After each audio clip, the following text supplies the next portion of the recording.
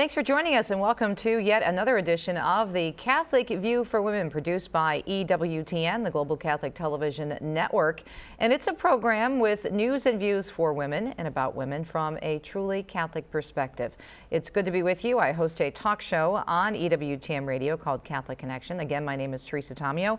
With me, my co-host Astrid Bennett Gutierrez from Los Angeles Pregnancy Services and Hispanics for Life, and of course Janet Morana, who is also very familiar to us here at EWTN through her great work at Priests for Life and the Silent No More Awareness Campaign. Now, today's show, mm -hmm. we're going to be talking about something that is. Um, well, uh, let's be honest, it's a topic that doesn't get spoken about enough, no, especially in church and pro-life no. circles. And Janet, I'm going to talk to both of you because you're both experts in, in the pro-life community. Right. And I think it's interesting that we are such a pro-life people, right. and yet this issue of miscarriage doesn't. It's not being addressed. It's not being addressed. We don't talk about it like a pro-life people, you know. And these are well-meaning Catholics who will just say to a woman who's lost a child in miscarriage, uh, "Oh well, you know, um, that's nature taking its course. There was probably something wrong with the baby, and oh, it's best anyway. You can try again. Try again. Oh, it was early. Don't worry. Oh, it was early on. Mm -hmm. You know, so mm-hmm the question, is, it was early on. As a pro-life community, as we say, we respect life from the moment of conception to natural death, okay. So even if it's early on, six weeks, what's the difference to a mother losing a six-week unborn child as opposed to a six-month born child? Absolutely it's nothing. Child. It's still, it's her child. She's a mother from the moment of conception.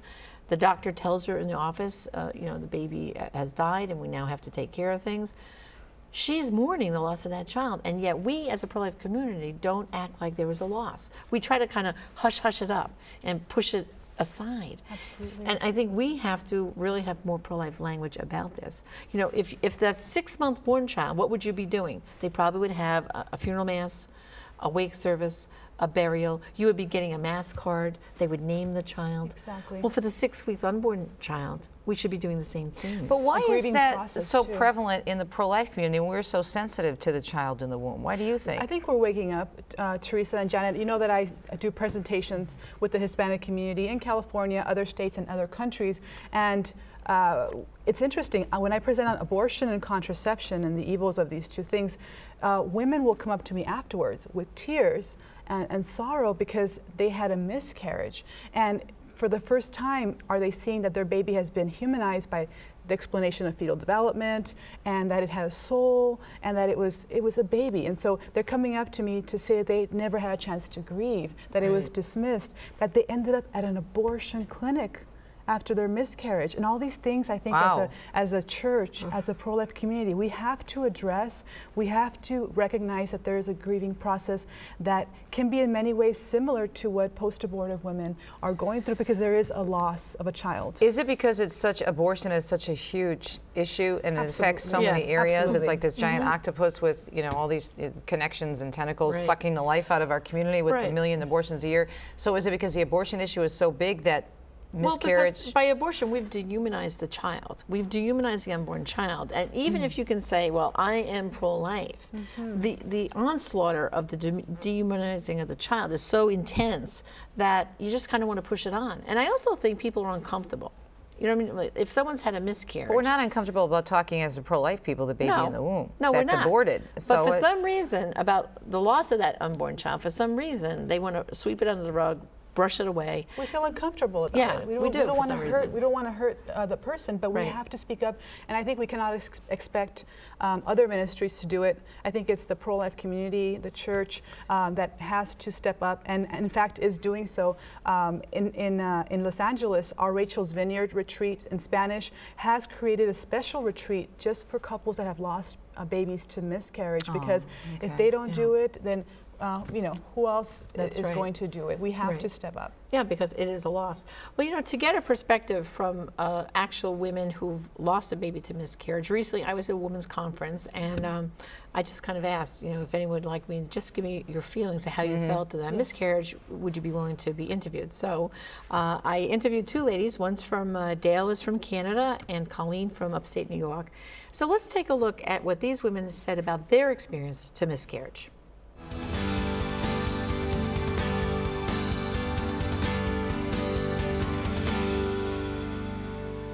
I had a miscarriage, my fourth pregnancy, And actually, it happened so quickly that I was in the doctor's office, and he said that I needed to have surgery right away to take care of this problem that the baby was stuck in my tube.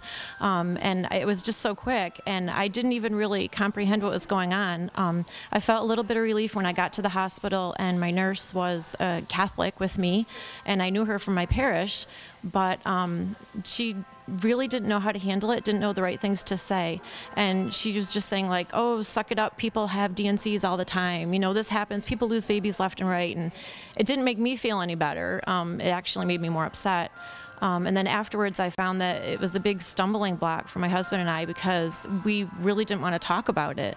It was we didn't know where to turn, what to do. Um, and it was actually when I was talking with my parish priest one day, I went to my faith, went to church, um, and I was praying, and he said to me, "Did you name the baby?"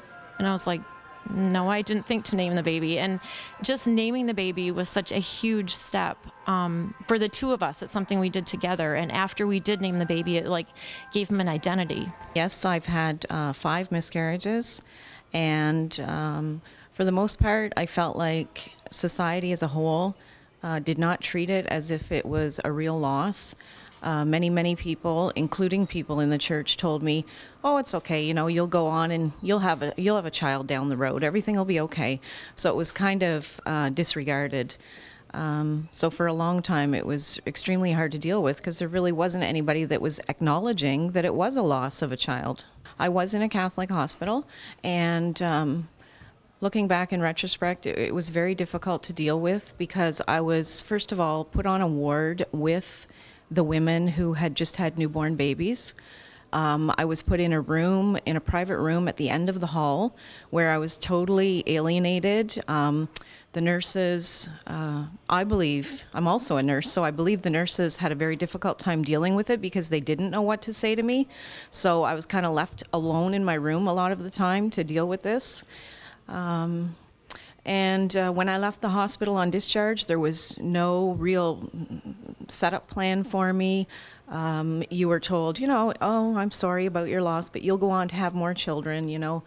Um, so, yeah, there was really nothing to help me concretely deal with the grief that I was going through. No, there was no um, concrete plan about the fact that your child was a real child who needed to be memorialized or buried, or there was really no discussion about that topic. Years later down the road, um, I learned uh, about a program that was being offered at the hospital. And how I found out about it was one of the nurses, apparently, that was on the ward that I was on at the time I had my miscarriages, she apparently miscarried um, and uh, personally went through that, that um, trauma and realized that, hey, this really is a baby that I've lost and she started a beautiful program um, that was a memorial to the child that was lost. And I went to the opening of that program, and it was it was a beautiful program, and I was very uh, proud of the fact that it was being started. And the nurses who were on that ward actually came to me that day and apologized for their lack of uh, compassion at the time, which was um, consoling to me. And they actually gave me um, part of the program. They gave me the little box and the envelopes uh, that would have been given to me had I been there at the time they start this program. So it was quite consoling to know that this was being started and that women were. Um, women's issues, uh, the issue of miscarriage was finally being addressed as um, the loss of a real child powerful stories, and you can see by their witness how sad and devastated and impacted they were. It was a child to them, they had that loss, and they just were really reaching out for more uh, help from the community to recognize that loss. You know, it's interesting because we always talk about in, in the pro-life community, and it's often a discussion, Janet, when you're on my program every week about how you know, it's it's not just when someone goes, a woman goes for an abortion. It's not just something you you, you walk out of that abortion right. mill and you're fine and you're skipping back to the car. It, it's usually, and maybe the women won't feel the effects for a while, either emotionally or physically, but eventually it takes its toll. And we never minimize that experience because it's it's a traumatic experience. And yet, we're sometimes flippant in the pro-life community about the miscarriage. miscarriage. And, and what you have to understand is, for the women who've had a miscarriage, very often these are women who you, you know you're trying to get pregnant, they want to have a child. I mean, we know some women who've had three, Mm. four, five, six miscarriages in the attempt to, to start a family. Mm. And so each one of those those those losses is they lost a child. You know, Absolutely. and, but yet we don't respond with that kind of emotional support, spiritual support for them, uh, and it's very sad. But I think we have to focus too, as a pro-life community, like I said earlier, on our language. Our response Mm-hmm. when you first hear that that person lost that child of miscarriage can be the thing to either help her in her healing or drive her deeper into her pain. Absolutely. Because you're not acknowledging it. Even Colleen, uh, who is a faithful Catholic woman, um, she lost her fourth child to miscarriage, and she was lost. She didn't know how to handle it. Right. Um, being a faithful Catholic woman, knowing um, that it, it was a child, thank God for her priest at her parish who acknowledged the humanity of her baby, Right. um, and then you know he did a whole uh, memorial service for Right, the he suggested to and- and name the named child. baby, Name the child. But how many priests, God love them because they're so busy and torn in so many different Absolutely. directions, have that have that proper that ability or that training that where they can do that. Right, You know, yeah. that that's a you know they're they're pulled that's why it's important for us to step up to the plate again Exactly. As a you know part of the pro-life community. help them, encourage Yeah. them, and also with our pro-life uh, retreats, we can find a way to address um, this hum- the, the humanity of these children and the loss of these parents because they are children that have been lost, and they're they have siblings, um, and it is a generation that is lost, even if it's Mm-hmm. not an abortion. Um, it's part of the work that we're doing to build a culture of life. Yeah. Well, I think most parishes, you know, have a bereavement group, and I think this is a challenge to those groups to say. That's an interesting Yes. point. you know, I never thought they of that. need yeah. to bring this in, in as another, because most people think of the bereavement group as saying, oh, you lost a spouse, or or a born Or a child, child, or or a a child, or a child-born child, right.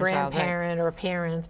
But those bereavement groups also have to cover miscarriage because that is the loss of a child. And I think this is, you know, we're going to talk a little bit more about um, some resources later on in the program. But I think that's where anyone who's in a runs a bereavement group, this is a challenge to you uh, to really deep, dig, deep, dig deeper and find out how to cover miscarriage and in those groups and welcome these women. And to encourage these groups uh, in the parish to also work with pro life doctors to help these women be treated compassionately, sensitively, and, and ethically. When they have a miscarriage, they don't want to end up at an abortion clinic get, That's getting right. a D&C. They want to be with pro life doctors that will be sensitive Well- to what's happening. And you heard how Dale said how she was treated. She was put on the maternity ward with other women who had children, and the nurses kind of like we didn't even know what. Oh well, we, to not, we do don't know with what to do with her, or what to say to her. Well, so the they pro-life community her. needs to work with the medical community as well. We're going to take a quick break, and when we come back, we're going to talk about this language of love and what we can do differently and better in the pro-life community and in general to help women and families who are dealing with a miscarriage. And don't forget, we're going to have a lot of great resources again on our website at the Catholic View for Women. I'm Teresa Tomeo, along with Astrid Bennett Gutierrez and Janet Morana, the co-hosts of the Catholic View for Women. Stay tuned. We'll be right back to wrap up our discussion regarding miscarriage and the language of love.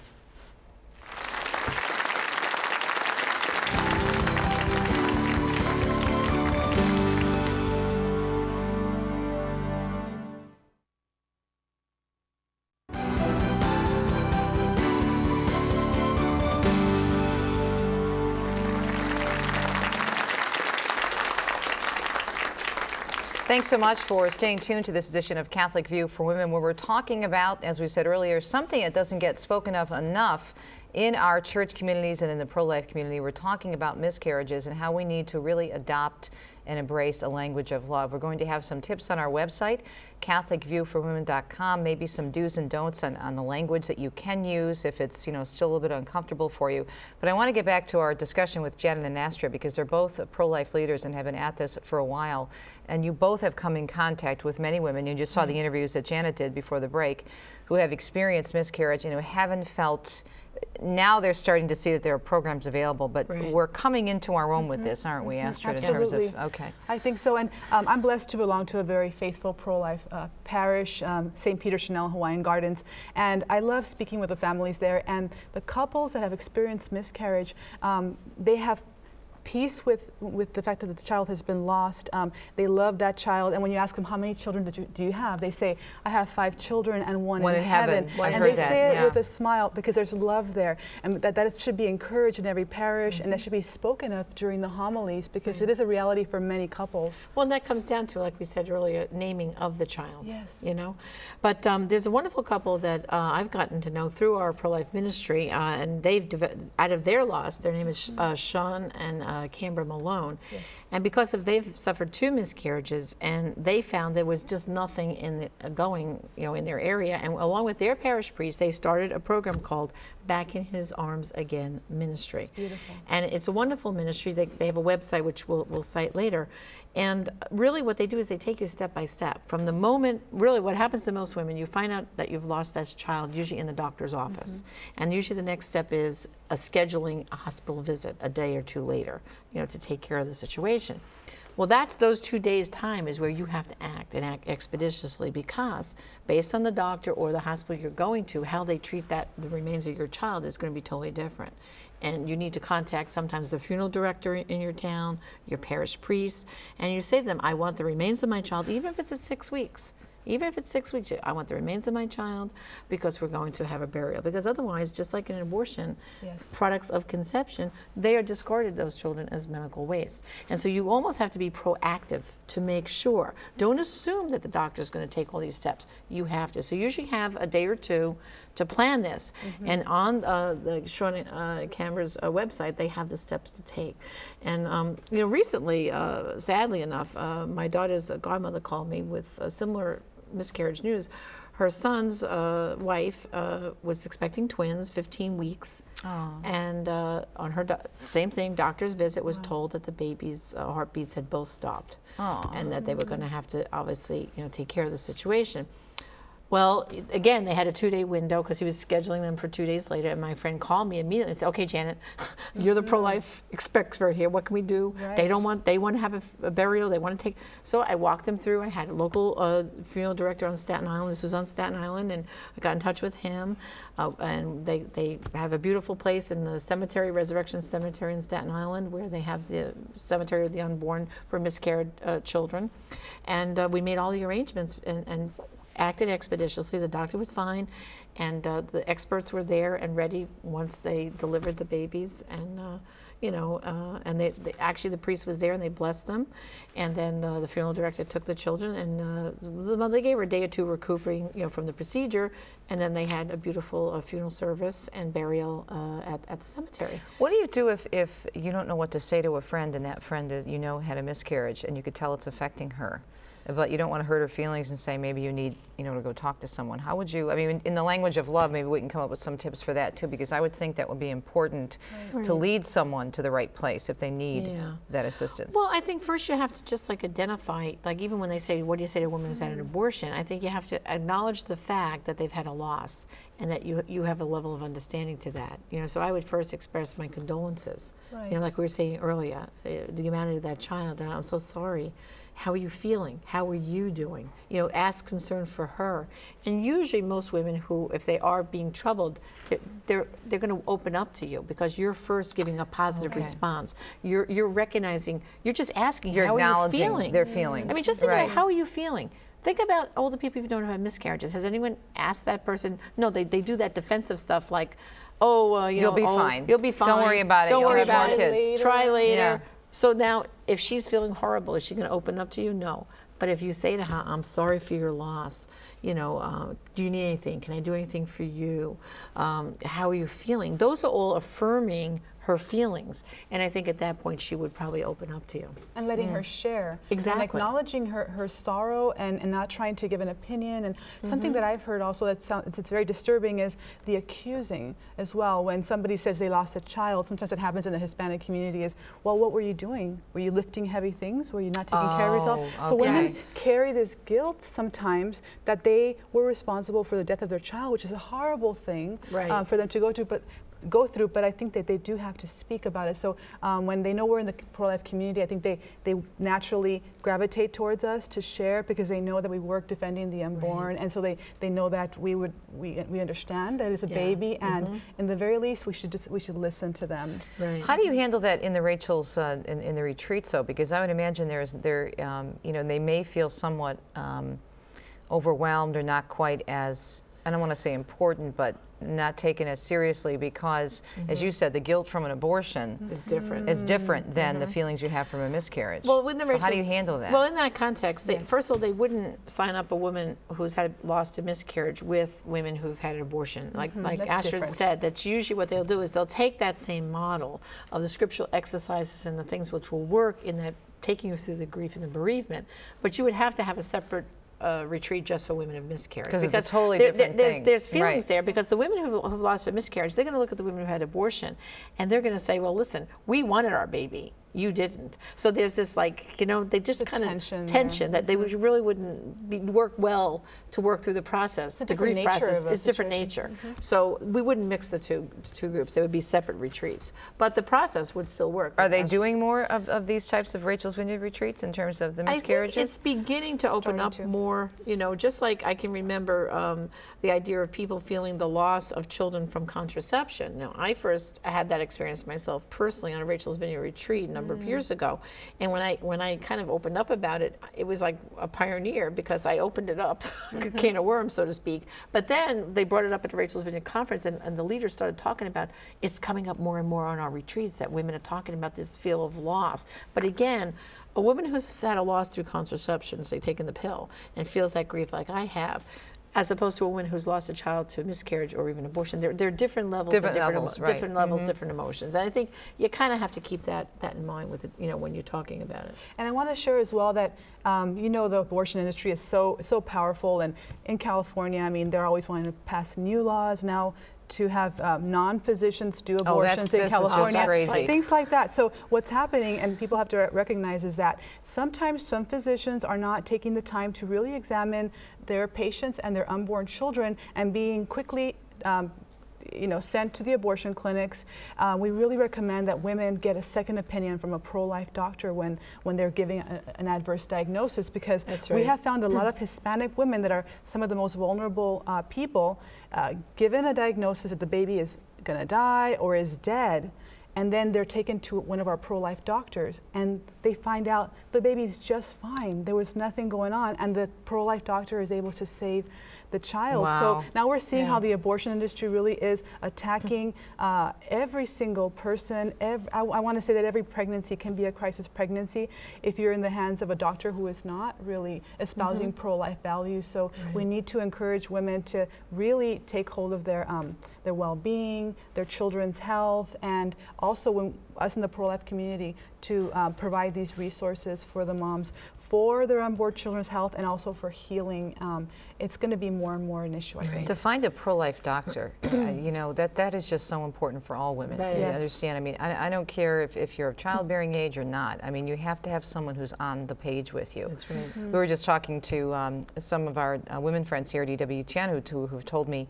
time and time again about the pressure they're under when they go in to see their doctor, and automatically it's always about the pill. Push the Right. pill, pill, Push pill for pill. everything. You know, it's, it's just, it's ridiculous. Yeah. Well, you know, um, to go back to the idea of when they lost lose the child, Yes. uh, a few years back, Father Pavone and I had an experience. We were in North Carolina uh, giving talks, and a couple came up to us after the talk and said, you know, we lost a child to miscarriage. Uh, we named her. Her name is Felicity, and she was six weeks when we lost her. But we had we had a burial, and we her her headstone we ordered one. It had just come in, and we want to have a blessing. Would you? We would be so privileged if you could come and do the blessing of the headstone.